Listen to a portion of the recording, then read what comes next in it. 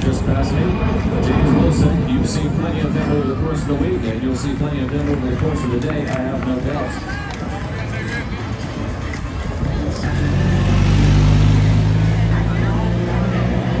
but it looks like the group is feeling spicy as well.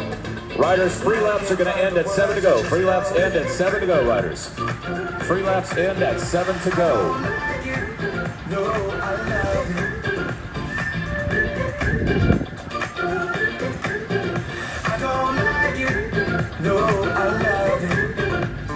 And he's not able to rejoin the pack when it's 7 to go.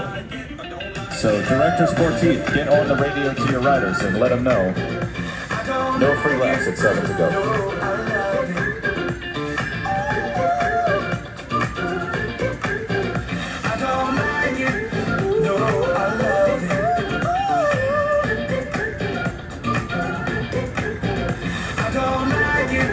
not active yet. It will come up soon, I'm sure.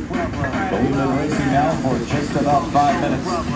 Free laps will end at seven to go, riders. Free laps end at seven to go.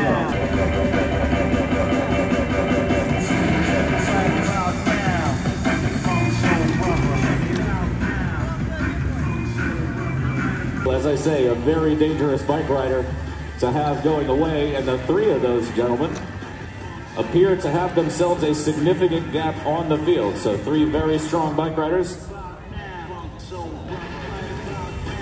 And that was Ryan Collins, who just passed me a second ago for L5 cycling team. Another strong bike rider. And here comes your main field. Lots of looking around, lots of shoulder checking.